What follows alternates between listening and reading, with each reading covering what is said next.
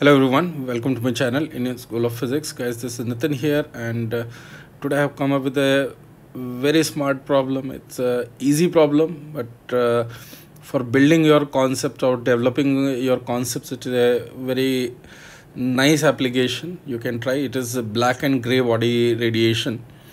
Uh, so guys this video is uh, brought to you by Indian School of Physics and Unacademy together.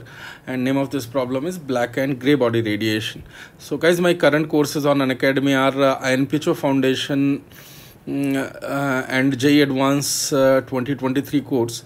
And another one is Advanced Problem Solving for uh, JEE Advance 2021 and uh, guys in special classes I'm conducting a test series for JEE Advance 2021 so please keep an eye on uh, these sessions also.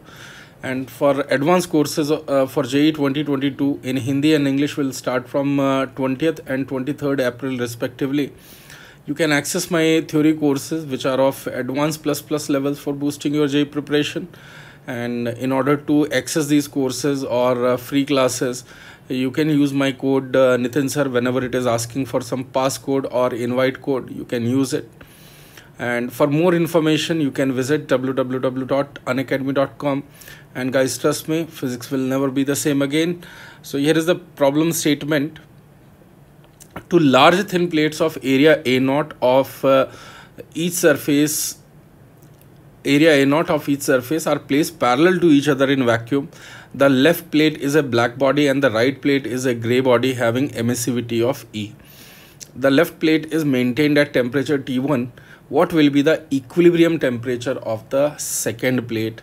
Uh, equilibrium temperature means they're asking about the steady state uh, in this case. So let's discuss the concept part here. For an ordinary body a body having emissivity and absorptivity a uh, to be in thermal equilibrium with the surroundings we can say temperature of body and t is the surrounding temperature. So in this case uh, the body will be releasing some amount of energy uh, as per the Stefan's law which is sigma a to the power 4 if it was black body but it is ordinary one so e will come here. So sigma ea tb to the power 4 similarly uh, the body will receive some amount of energy from the atmosphere as well. If it was a black body then it will receive sigma t surrounding to the power 4 from the uh, atmosphere or from the surrounding this much amount of energy it will uh, absorb. But since it is uh, a normal body so here I can say this absorptivity A will come.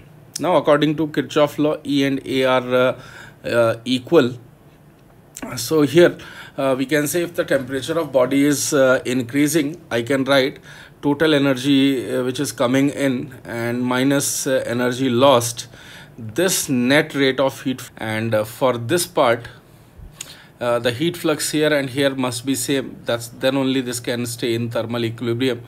So uh, the heat flux from here will be sigma a t1 to the power 4 minus t2 to the power 4 and leaving will be sigma a t2 to the power 4 when we do this i'm going to get uh, uh, sigma sigma. If i cancel out I'm going to get T1 to the power 4 is equal to 2 times T2 to the power 4 and uh, we are going to get this uh, T2 is equal to T1 by 2 to the power 1 by 4 this is going to be my final answer.